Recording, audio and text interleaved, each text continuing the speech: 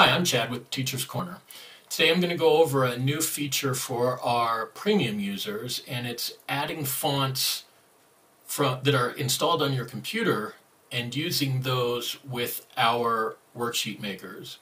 It's There's a couple of steps to it and I just wanted to let you know that um, it's not that hard to do and you can add up to five. I'm going to show you how to do it right now. What I want to do is go into one of the worksheet makers that has a font list.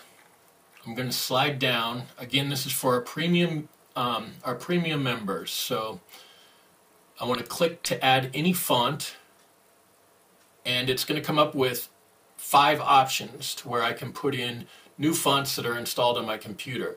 You're going to enter them into this box, and if it finds them, it'll let you know that it found it and that it installed it. First, let me show you how to find them on Windows, I'm going to go into my search box in the lower left corner. This is Windows 10, and I'll just type fonts. What that does is it opens a box that has all of the fonts that are installed on my computer. If you're using Mac, Mac you want to go to your Finder, go to Applications, and then Font Book. Finder Applications Font Book, and you can look in there for your whole list of fonts similar to this. And you can see little pictures of what they look like, like this Burnstown Dam Regular.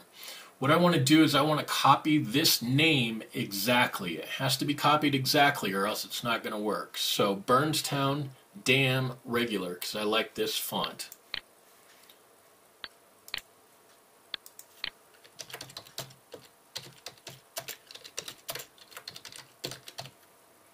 And then I'll click Update Font. If it finds it, it'll say Record Successfully Updated, and you can click OK. And it also puts that font after that line. Um, this one's a little harder to read when it's that small, but it'll work in the in once you get it into um, once you get it updated into the uh, puzzle maker. I'm going to go ahead and put one more. Um, I'm going to do this chiller regular. So open up the window, put chiller, regular, and if I don't type it in right, it'll let me know. But it finds it, it puts the font after there, and it's ready to go.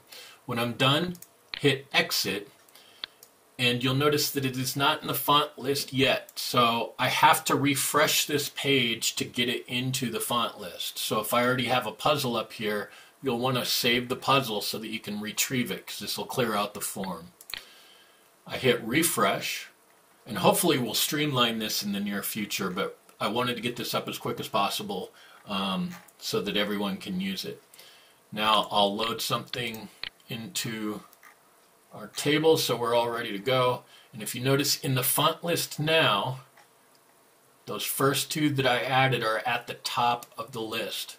Again, this is for our premium users. I'm going to go ahead and choose those two so that I can use them in the puzzle and make the crossword puzzle.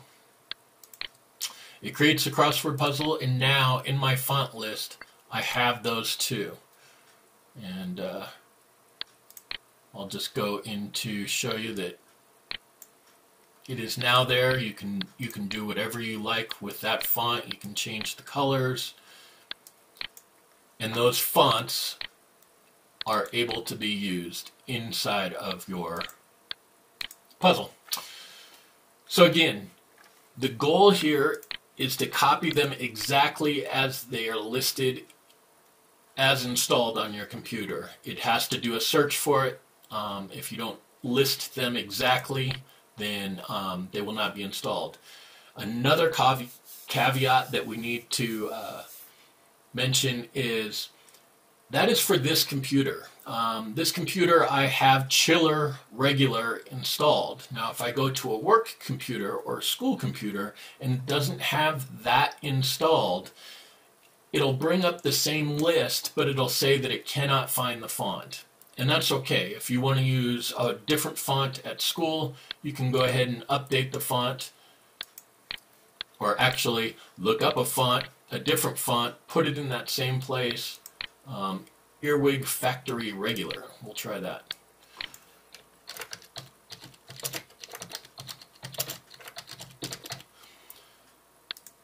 And it updates it.